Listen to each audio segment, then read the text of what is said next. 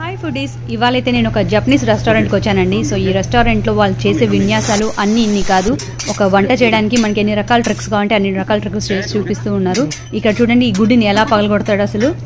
So అలా మనల్ని entertain చేస్తూ వంట చేస్తూ మనకి ఆ వంటని ఆ ఎంజాయ్ చేయడం ఎలా నేర్పిస్తూ మరి చేస్తూ ఉంటారనమాట ఈ వంటని మేమైతే ఇక్కడ ఆర్డర్ చేసినది ఒక ఎగ్ ఫ్రైడ్ రైస్. దాంట్లో స్ప్రౌట్స్ కూడా యాడ్ చేశాడు సబ్స్క్రైబ్